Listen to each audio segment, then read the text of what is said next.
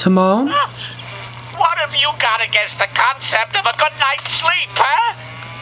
Actually, I, uh, I had a bad dream. Oh, well, uh. wasn't me. Junior had a bad dream. Oh. Why don't you sleep over here with us? Me Pumbaa Super. All right. Good night. Sleep tight.